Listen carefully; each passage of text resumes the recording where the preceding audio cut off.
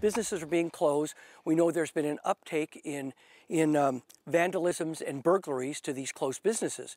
So we put out some uh, bullet points for people, just like a checklist that people could look at um, uh, for their closed businesses uh, to make sure that it can stay as safe as possible.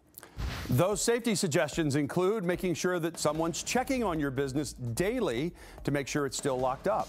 Move any products you have away from the windows or put them in storage. And consider boarding up any vulnerable entry points that would be easy for a burglar to access. Go to our website, catchwmw.com, to see the entire list of safety tips, as well as information to keep you and your family safe in the event of any type of civil unrest. You can also look at all the fugitives and surveillance video that we're featuring tonight.